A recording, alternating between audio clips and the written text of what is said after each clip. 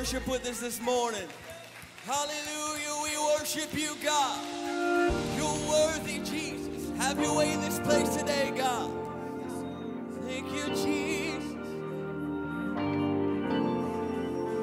There is no fear, cause I believe.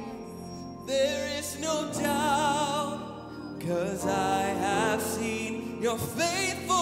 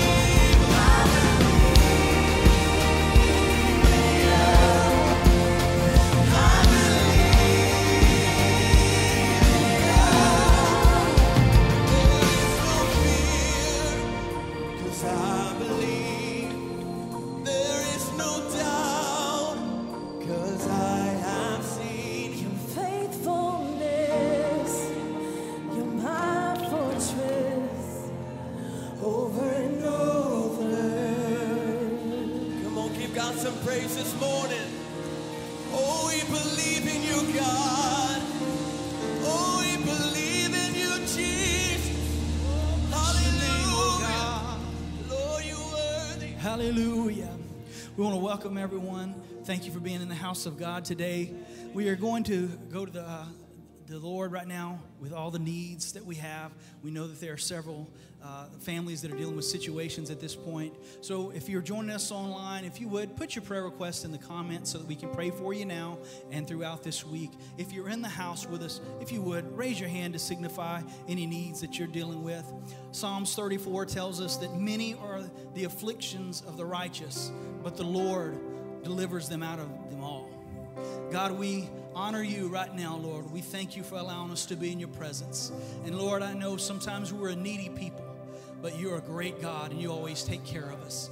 God, I pray that you touch every person, every heart that's lifted up to you right now, online and here in the house. Touch, help, heal, be with your people right now. In Jesus' name, amen.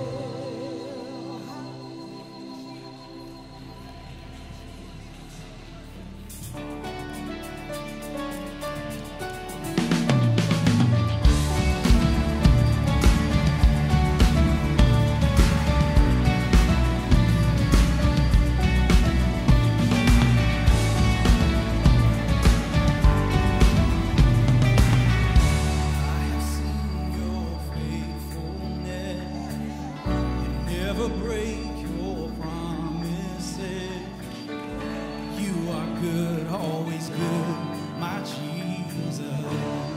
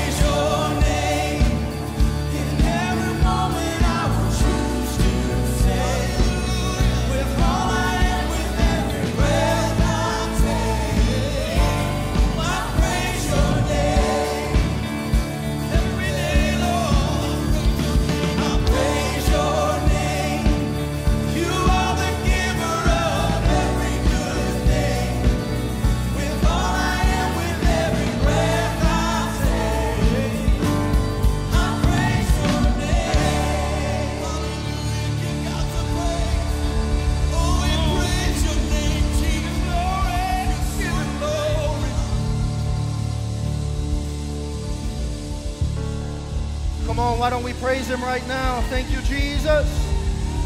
In the good and the bad times, in the shadow and the sunlight, I will praise your name. Hallelujah. Hallelujah. What a mighty, mighty presence of the Lord that's in this place right now. One more time, why don't we just give him a hand clap of praise? He's worthy. Thank you, Jesus. We magnify you, Lord. Thank you, Jesus. Amen. Thank you all so much for being here this morning. What a mighty presence of God that's, that's in this house. If you weren't here in the first service, presence of God was here, and we're expecting more of the same. Amen. Thank you to all of our guests for taking time to be with us. Uh, whether you're here in the building, online, thank you so much for, for being with us this morning.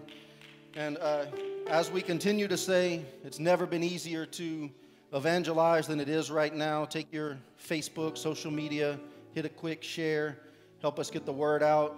You don't know who you might bless with them hearing the word of God. Amen. And thank you always for being such a giving church. Uh, if you'd like to join us in giving this morning, you can do that. Uh, if you're in the building, you can do it at the kiosk in the back. You can also uh, do it online through the church app or text to give, the number that'll be on the screen there. If you have your Bibles, Exodus chapter 33, and as you're looking that up, remember a couple of important announcements. Don't come this Wednesday night because no one's going to be here. In lieu of Thanksgiving, we'll be spending time with family, fellowship, hopefully some good food, and uh, relaxation. So enjoy time with your family. And then every year, don't we have a good time at the Christmas concert? We're going to have Christmas concert December the 12th. That's Saturday at 6 p.m. And then December 13th at 10 a.m. Mark that on your calendar. You don't want to miss it. We're going to have a great time. Exodus 33 and verse number 12. Moses said to the Lord, You've been telling me, lead these people, but you have not let me know whom you will send with me. You have said, I know you by name, and you have found favor with me. If you're pleased with me, teach me your ways so that I may know you and continue to find favor with you. Remember that this nation is your people. And the Lord replied, My presence will go with you, and I will give you rest.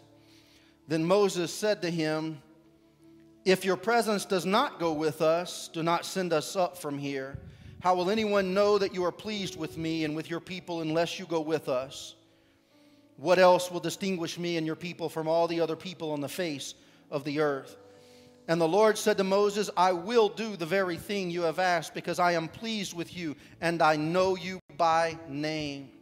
Then Moses said, Now show me your glory. And the Lord said, I will cause all my goodness to pass in front of you and I will proclaim my name, the Lord, in your presence. I will have mercy on whom I will have mercy. I will have compassion on whom I will have compassion. But he said, You cannot see my face, for no man can see me and live. Then the Lord said, There's a place near me where you may stand on a rock when my glory passes by. But I will put you in a cleft in the rock and cover you with my hand until I have passed. Then I will remove my hand and you will see my back, but my face must not be seen. And I want to talk to you on this subject only Jesus. Father, speak to us this morning. Help us hear and respond to your word, your, your living word that's longing to touch us today, God. In Jesus' name, and everyone say amen. And if you're going to help me this morning, you can be seated. If you're not, you can stand like I am. So uh, I'm taking it. I'm going to have some people get behind me this morning. Amen. We're in the final part of a little series called Time in the Tent, where we've been looking at the importance of a daily relationship with God. And Wednesday night, we talked about the power of presence, and we talked about marriages and relationships with, with children and their parents, and kind of compared that to our relationship with God. And I, I really hope that kind of helped you out, gave you some tips on how to strengthen some relationships in your life, that we can't just be present but absent. We need to be present in the presence of God. And, and we talked about how we don't want God to just be a provisional God. We want Him to be the personal God in our life, that we're not in it just for blessing and reward. We're in this ultimately because we want the presence of God. We want to connect with Him in a real way. And, and I want to conclude this series by talking to you about the source about the blesser, the provider, the personal God that we talked about, and his name is Jesus. This is all about Jesus. Everything that we do is about Him. The reason we get up in the morning and come to church so early is because we want to worship and magnify the name of Jesus, because we believe that, that Jesus can do anything and that, that He gave everything for us, and we long to connect with our Creator and to walk in His presence and feel Him among us. So I'm doing something this morning that I, that I rarely do. I'm giving you the destination of the message before I give you, or before I even start the, the journey. I'm giving you the final point before I, I walk through the steps. Because if you don't get anything else that I say to you this morning, I want you to remember that it's all about Jesus. Everything hinges on Him. If you need healing this morning, it's found in Jesus. If you need salvation this morning, it's found in Jesus. If you need emotional security in your life, it's found in Jesus. If you need help or hope, it's found in Jesus. Whatever question you may have this morning, I'm going to tell you the answer is Jesus Christ. It's all in Jesus. So that's where I'm going, but, but let me backtrack and give you the foundation that I want to build this on. And that is that it's too easy for modern westernized Christianity to, to live in this area of comfort and contentment where we settle for an idea that we were saved just to follow rules and financially contribute and, and faithfully come to church. And, and, that's pretty much the extent that, that we think we're supposed to do. But God has called us for so much more than, than just that. Thank you for doing that. It's an important part. But God has called us all to relationship. He longs to connect with us, each and every one of you today in these chairs. He's longing to connect with you on a daily basis, on a real basis. And Solomon penned the words that, that are tragic. He said, I saw the wicked buried who had come and gone from the place of the holy. I saw people who came in and out of the presence of God, but they never really connected to the God of the house. And, and they came and they left, and they came and they left, and they were never changed. And, and somewhere in their, their natural wickedness and sin, they perished because they never found a true connection to the God of the house. And sometimes we stay at that level, but then sometimes we move beyond that level where we get to a, a, place of occasional presence, a point of contact, but not really a true connection. God, I need you to show up now. I need you to help me now. I need you to heal me now. I need you to step into my, my current situation. And, and that's a good start. It's a good place. But I've come to tell you this morning that God wants to be so much more than just your, your now God that fixes your now problems. He wants to be the God that, yes, He'll fix the now current problem, but He wants to walk with you every single day. He, he wants you to understand you don't have to just have this moment of contact where He steps in, that you can walk in His presence and in His favor and in His power. You can walk in that dominion every single day of your life. Sometimes we move beyond the point of contact to this place that, like Moses says, God, just show me your glory. I, I want your glory moving in my life. I, I, want more than what I have right now. God, I, I need more than I've previously experienced. I'm not being greedy. I'm not just in this for myself. God, I love you so much. I want, I long for more of you. Like, like Moses said, God, show me your ways, not just so I can have more knowledge, but God, show me your ways so that I may know you and that I can please you. It's like a, a lover that's wanting to please the one that they care about. I want to know more about you so I can know what it's like to make you happy. It's like the husband telling his wife, just, just, just give me a little bit more details. Help me out a little bit so I can know what makes you tick, what, what makes you happy in this life. This is Moses when he steps into the situation. He's like, God, show me your glory. Show me a little bit more so that I can, I can please you better, so that I can live this harder, so that I can be in your presence more. I want to be what you want me to be. God, show me your glory. And I believe that God is calling us to be that kind of church.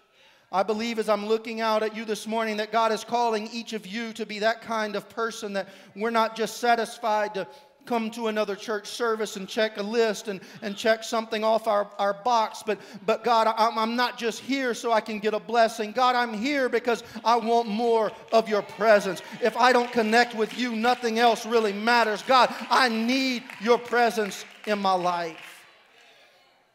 The problem is that this kind of attitude toward God requires a complete and total dependence on Him.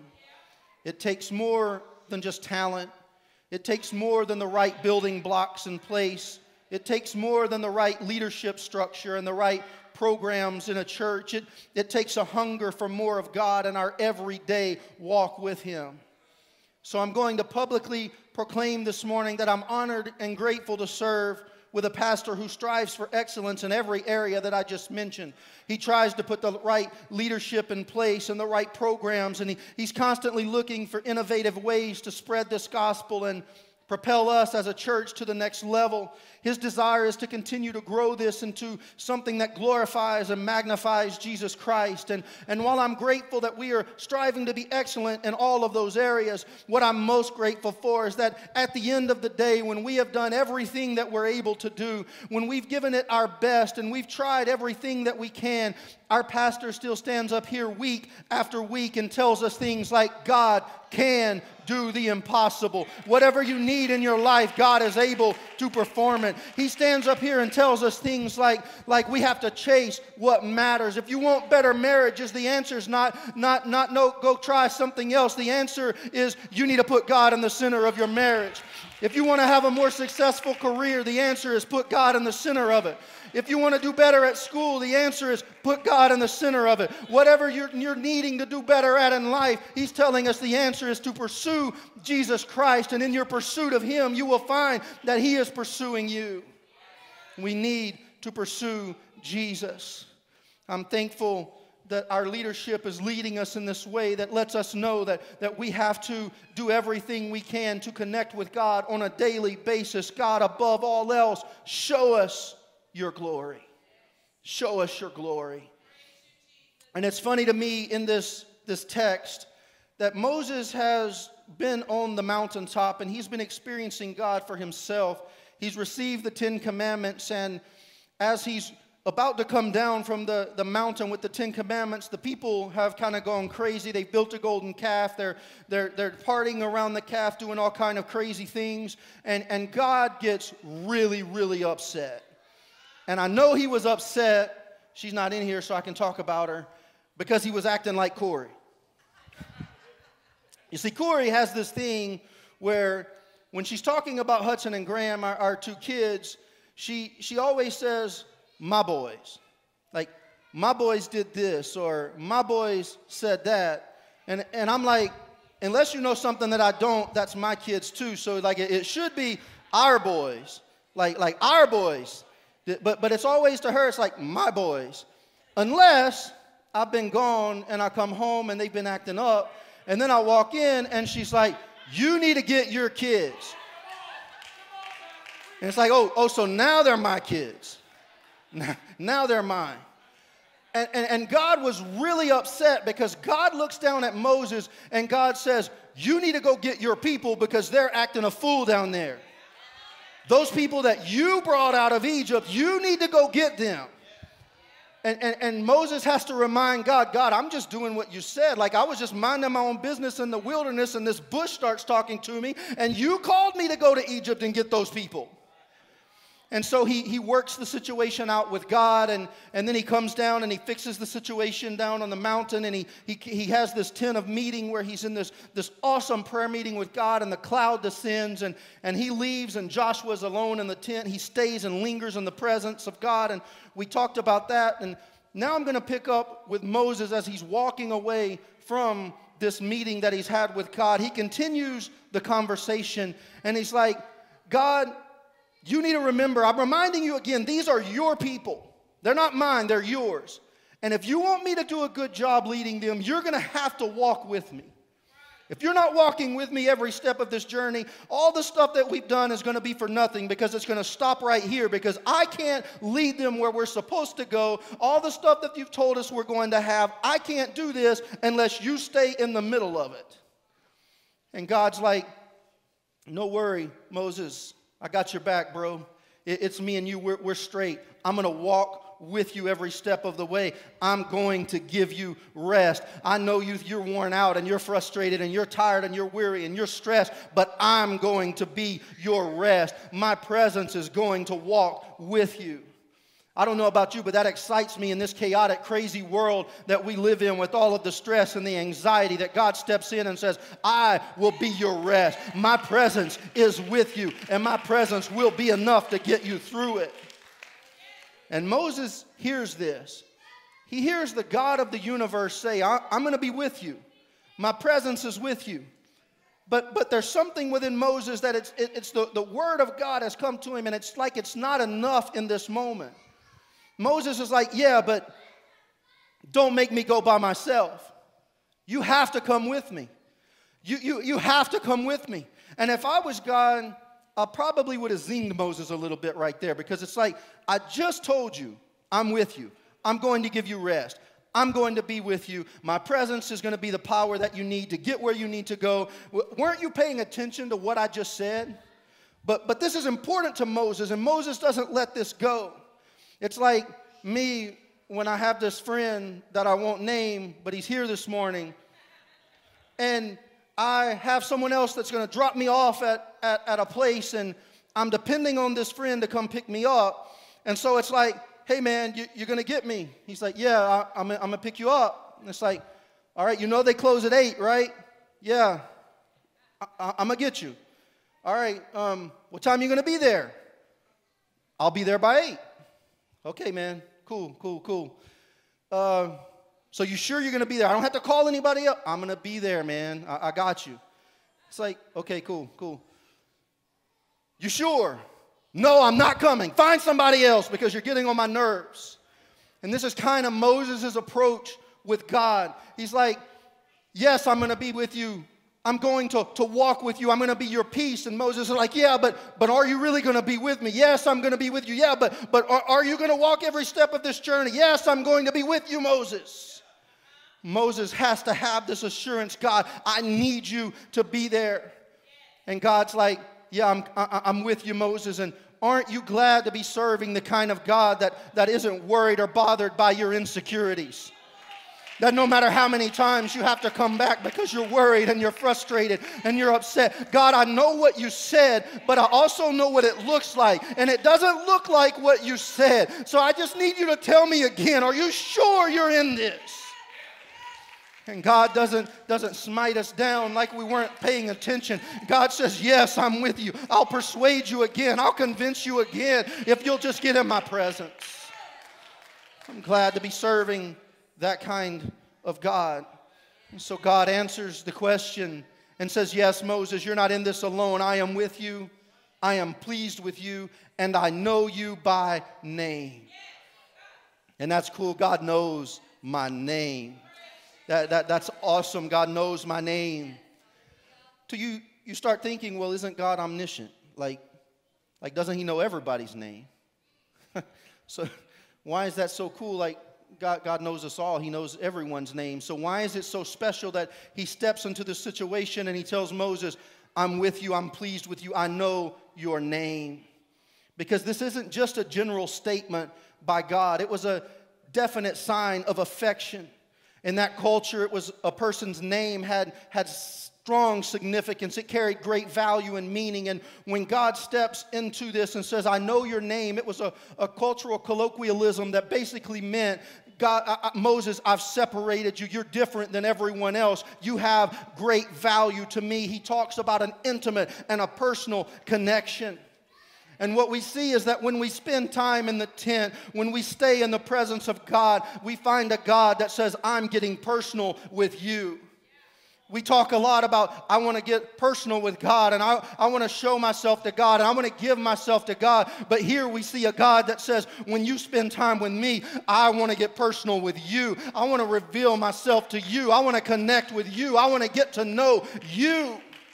That's an awesome, awesome God.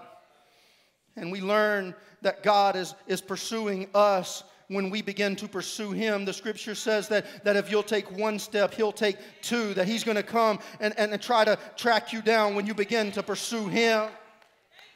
And Moses is like, sweet, I'm on a roll now.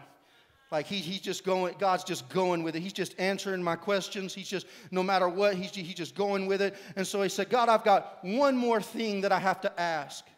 Now imagine the audacity of this man named Moses standing in the presence of the King of Kings and the Lord of Lords. He's been pushing the issue, and now he has one final request God, show me your glory. Show me your glory. And that's an interesting request because when we hear this request, we often think of the miracles, the signs, and the wonders, and the powerful display of God's presence. Show me your glory. I want to see heaven kiss the earth. I want to see impossible things happen. I want to see the supernatural touch the natural. Show me your glory. And yes, we long for those things, but this is important because that's not what Moses meant. Moses said, Show me your glory, and he wasn't talking about more powerful displays of God's presence. Moses had already seen countless miracles. Pharaoh's daughter had been his deliverance, that was a miracle. The burning bush had been his conversion and his calling, that was a miracle. His hand had, had been lepr- leprous when he stuck it into his bosom. He pulls it out and it's, it's healed again. And he had tossed a stick on the ground and the stick became a serpent. He picked, he picked it up, the serpent, and the serpent became a stick again. He did it in front of Pharaoh, and Pharaoh's magicians did it, and then Moses' serpent devoured all of their serpents. Another great miracle. And then he picks it up and it becomes a stick one more time. He's called frogs into the land. He's called caused the, the, the, water to turn to blood. He's created lice and locusts. He's the firstborn of all of Egypt has died. Everyone who didn't have the blood applied to their doorpost. He's watched the enemy drown in the Red Sea right after they walk across on dry ground. There's been a fire that's guided them by night and a cloud that's guided them by day. There's been miraculous manna from heaven. There's been water that's come from a rock. There's, there's been shoes they've been wearing that never wear out in the midst of a desert. Moses had seen the miracles. And Moses had lived in the miraculous. He wasn't asking God, show me another miracle. He wasn't asking for just a greater performance. In this moment, he's saying, God, show me something else. Uh, I've seen what you can do for me, I've even seen what you can do through me. But God, today I'm asking, just let me see more of your presence. Uh, I just want to know you. God, I just want to connect with you. And I compared it earlier. It's kind of like the, the teenager. I'm, I'm using this example to keep it on a PG level, but it's like the, the young teenager that's kind of been talking to the, his girlfriend for a little while and he's ready to go to that next level. And it's like, should I ask her? Can I hold her hand? Or should I just go for it, man? Like, like what should I do? And this is kind of the, the, the picture we see of Moses is, I, I, you've been talking to me like you're my friend, but I'm ready to take this to another level, God. I'm ready for some more intimacy with you. I'm ready, God, for something greater and deeper. Show me more about yourself. Singer Cody Carnes says it perfectly. I'm caught up in your presence. I just want to sit here at your feet. I'm caught up in this holy moment. I never want to leave. Oh, I'm not here for blessing. Jesus, you don't owe me anything. More than anything you can do, I just want you. I just want you. And then he says, I'm sorry when I've just gone through the motions. I'm sorry when I just sang another song. Take me back to where we started. I open up my heart to you. I'm sorry when I've come with my agenda. I'm sorry when I forget that you're enough. Take me back to where we started. I open up my heart to you. Not more blessing, not more benefit, not more promise. God, I just want your presence. Moses was saying, God, I just want a deeper revelation of who you are. And we see that this is the context that God understood it in. Because when Moses says, Show me your glory, God doesn't say, Okay, Moses, what miracle would you like for me to perform now? God, what, what, do you want, what do you want from me now, Moses?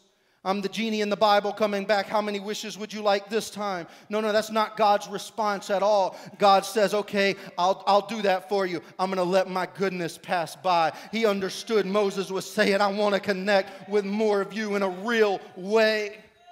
And the imagery that we see is one of God removing his robe, God unveiling himself, God allowing part of his presence to be seen by a man. And his holy presence passes by, and Moses is allowed to see part of it when he's hiding in the cleft in the rock.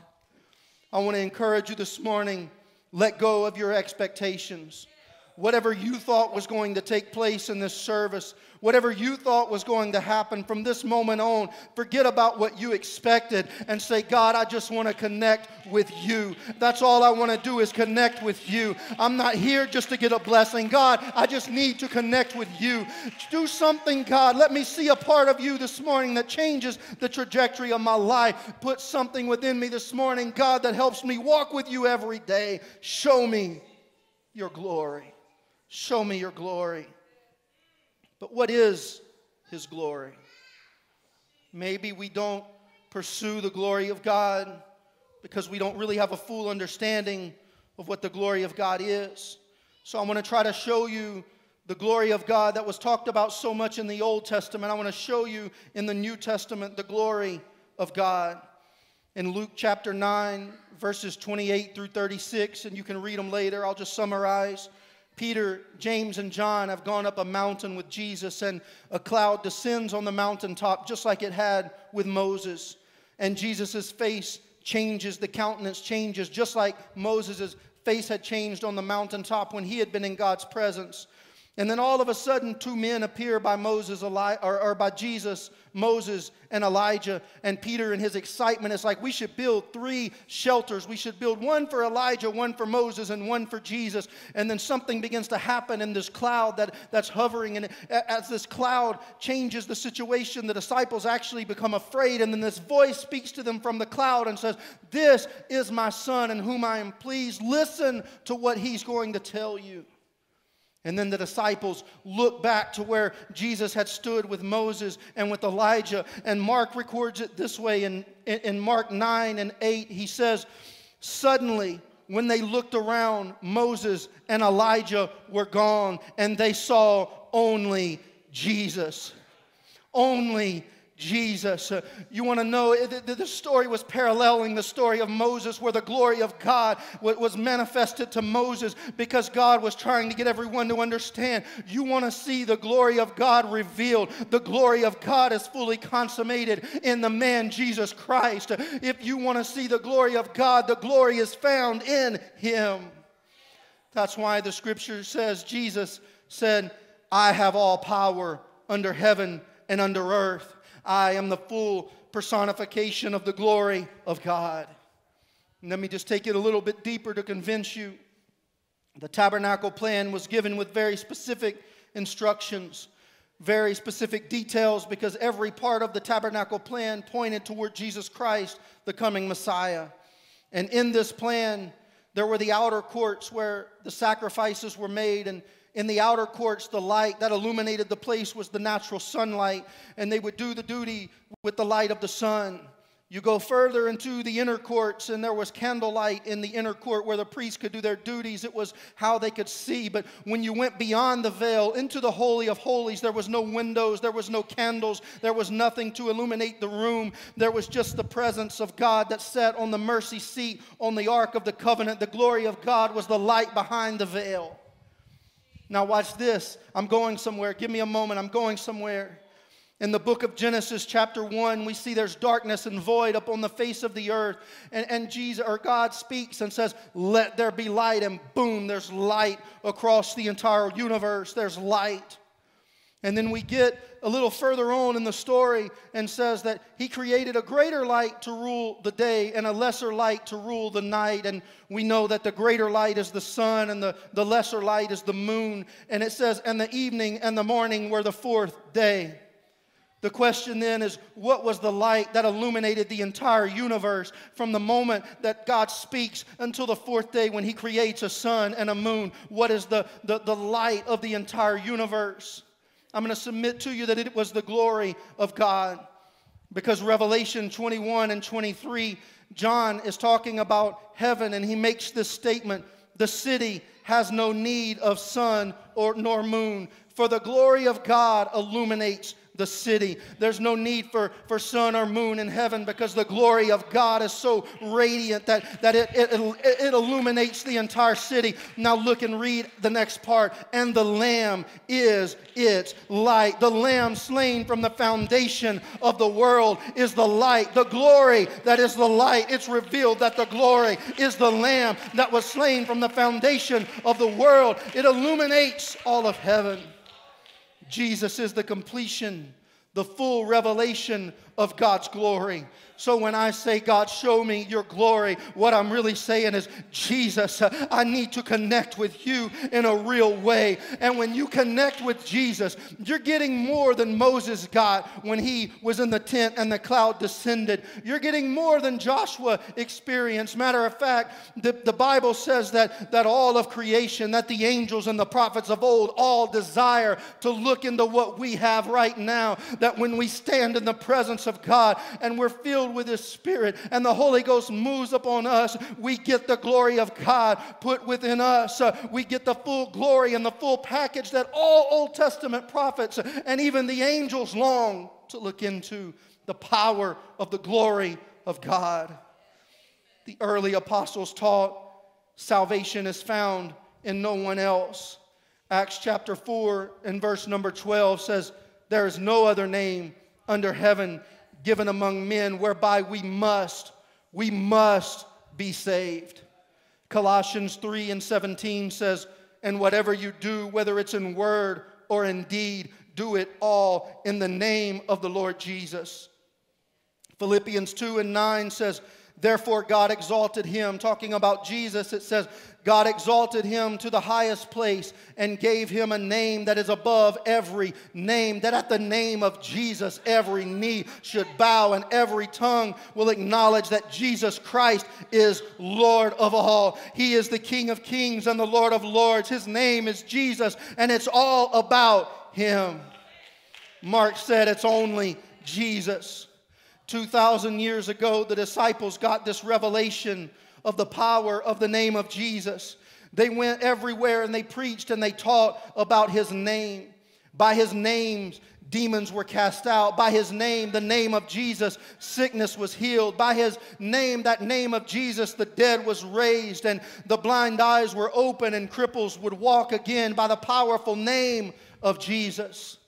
And I've just simply come to remind us this morning that that name still has all power to heal, to save, and to deliver. That only Jesus can save. Only Jesus can mold, take something that's broken and put it back together. Only Jesus can rearrange a destiny and a future. Only Jesus can put a struggling marriage back together. Only Jesus died on the cross for my sins. Only Jesus took stripes on his back for my healing. Only Jesus is the hope of all of mankind. It's only Jesus. And looking back, I remember all throughout my life and service after service singing about the name of Jesus. And as we would begin to sing, something would begin to take place, and the atmosphere would literally begin to change just at the mention of his name. We used to sing songs like, When my troubles surround me, I didn't have to despair. Lord, you told me you would be right there. It seems like all my problems had just begun, but I don't have to worry no more. They were already won. Oh, Jesus, Jesus, oh, how I love calling your name, Jesus. Jesus, every day your name is the same. And then the verse would go something like, I remember the time when I felt so all alone. All, when I needed you, Jesus, all I had to do was call. Sometimes in the morning, sometimes late at night. But when I got off my knees, Jesus, everything was all right. Oh, Jesus, Jesus, I love calling your name. Then we we slow it down sometime and we just say, Jesus, Jesus, Jesus. Oh, there's something about. Sing it with me. That name. There's something about the name Jesus. We get to the part. Let all heaven and earth proclaim. Kings and kingdoms will all pass away, but there's something about that name. Then we we feel a little joy in our soul and, and we begin to sing something about the name Jesus. Something about the name Jesus. It is the sweetest name I know. And then we say, some people say I'm crazy, but I can't explain the power that I feel when I call your name. It feels like fire shut up in my bones. The Holy Ghost is moving and it won't leave me alone. At the name of Jesus, every knee has got to bow. But you don't have to wait till the fire falls. Go ahead, shout and praise Him now. There's something about the name Jesus. Then we'd say, filled with wonder, awestruck wonder at the mention of your name. Jesus, your name is power, breath, and living water. Such a marvelous mystery. Then we'd say, You have no rival, you have no equal now and forever. God, you reign. Yours is the kingdom, yours is the glory, yours is the name above all names. What a wonderful name it is. One of my favorites, we would say, There's power in the name of Jesus. There is power in the name of Jesus to break every chain, break every chain, break every chain. Whatever you walked in with this morning, there's power in the name of Jesus to break every chain, to break every addiction, to heal every sickness. There's power in the name of Jesus. And then sometimes, like Moses, as we all stand, sometimes, just like Wednesday night, we sing about it. Show me your glory. Show me your glory. And we say, chains fall, fear bow here now. Jesus, you change everything. You change everything. Let's magnify him. Let's lift him up right now in this place. The King of Kings and the Lord of Lords. Let's praise the name of Jesus. Chains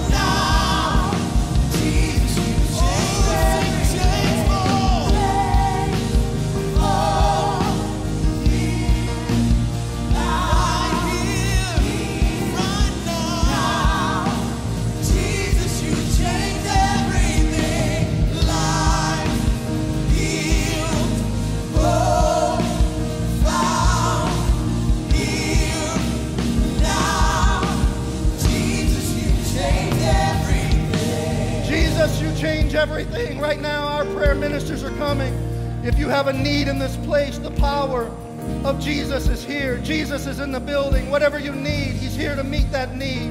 You need a miracle this morning, there's power in the name of Jesus. I'm asking you to come if you would like. If you're not comfortable with that, just make whatever space you're in your altar, worship with your family, but let's let's lift up the name of Jesus right now. Thank you, Jesus. Jesus,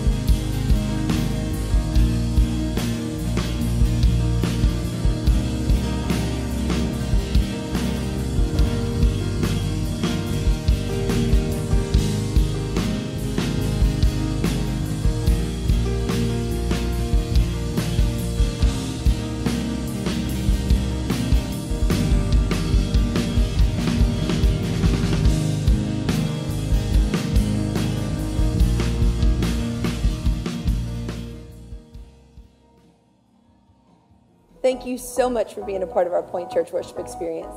We believe that the same presence we felt here today is the same presence that filled whatever space you're in. If you had an experience with God, we'd love to hear from you. If you have any questions about what you may have experienced, we'd love to connect with you. You can email us at experiencegod at point.church, or you can go to our website, point.church, and there you can click the Experience God link and fill out a short form. Again, thank you so much for being with us. We look forward to hearing from you, and we cannot wait to worship with you again.